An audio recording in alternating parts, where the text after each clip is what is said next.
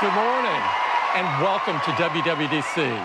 一年一度的苹果开发者大会再次以线上举行，从发布新一代的 iPhone 系统 iOS 十五，再到 FaceTime 功能大升级。不过重磅焦点无疑是苹果这次推出的强化隐私功能。We are introducing a new service called Private Relay. It ensures that the traffic leaving your device is encrypted, so no one can intercept and read it.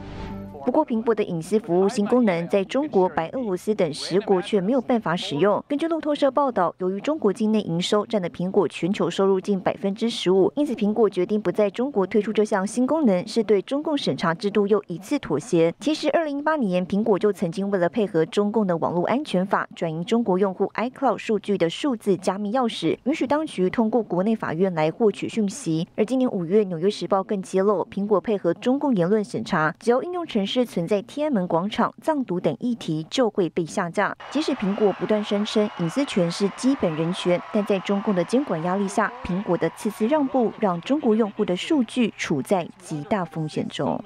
新唐人亚太电视赵婷、林家伟整理报道。